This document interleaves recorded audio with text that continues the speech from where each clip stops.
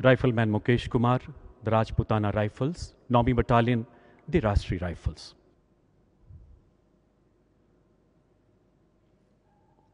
Rifleman Mukesh Kumar 16 जुलाई 2020 की मध्य रात्रि में कश्मीर की पीर पंजाल पहाड़ियों के निकटवर्ती गाँव में चलाए गए घेराबंदी अभियान में भाग ले रहे थे 17 जुलाई सुबह लगभग पाँच बजे आपको एक संदिग्ध व्यक्ति के घेराबंदी की ओर बढ़ने का रेडियो संदेश प्राप्त हुआ। उसके कुछ ही समय बाद आपको आम व्यक्ति के भेष में एक आतंकवादी के आगे बढ़ने का आभास हुआ। इस आतंकवादी ने अपने वस्त्रों में एक हथियार छुपा रखा था। आपको सामने पाकर आतंकवादी ने गोली चलाने के लिए जो ही हथियार बाहर निकालने का प्रयास किया, आप उस आतंकवादी से जा भिड़े। आम नागरिकों को जान माल का नुकसान न हो इसलिए आपने अपनी गोलीबारी को रोकते हुए गुत्थम गुत्था की लड़ाई में उस पर ताकतवर प्रहार किया।